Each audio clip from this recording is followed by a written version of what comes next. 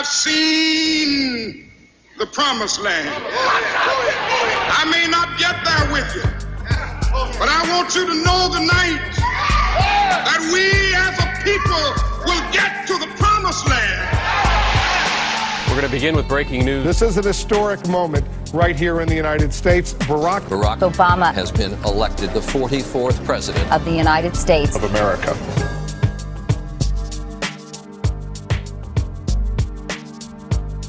He is going to set all of the wrongs of the past right. Oakland has more than its share of problems, so Phil Matier asked, what should President Obama's top priority be right now?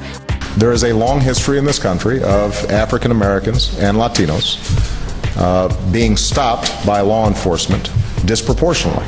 That, that's just a fact. Our top story is a heated racial controversy out of Oakland, California, which is now getting national attention because President Obama has weighed in.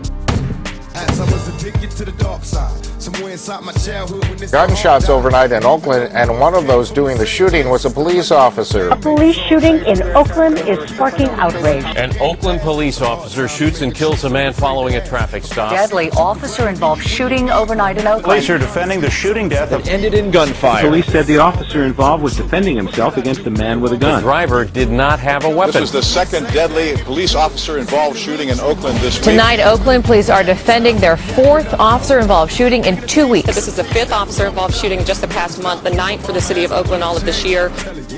We are getting an inside look tonight at what is driving Oakland's skyrocketing murder rate. From witness and police accounts, this is what we've pieced together. Oakland's gang units have carved up an 11 square mile region known as the Flatlands. This is the battleground in the ongoing war.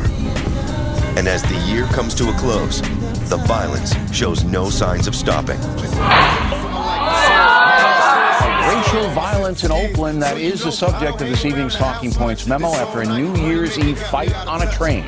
A transit officer in Oakland shot a young man dead, and as he lay on the ground, reportedly incapacitated. Look at this shit. We don't give a fuck. Hey, and the police, man, fuck you. The shooting has led to violent demonstrations. With Oakland police playing a cat and mouse game with the pockets of protesters zigzagging through downtown Oakland. This all started when a group of about 100 marchers smashed a police car in the intersection and tried to turn it over. That's when the riot gear came out and the protesters began setting cars on fire out there. We counted at least five cars on fire out there. It got so bad.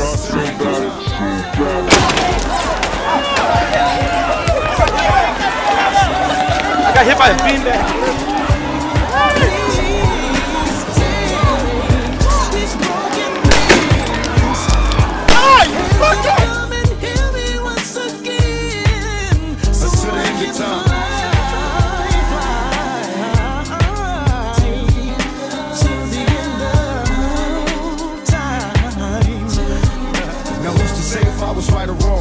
My life as an outlaw all along. Remain strong in this planet full of player haters. They conversate with death row full of demonstrators. And in the end, drinking Hennessy made all my enemies envy me. So cold when I flow, eliminating easily. Fall to their knees, they plead for their right to bleed. While begging me to keep the peace.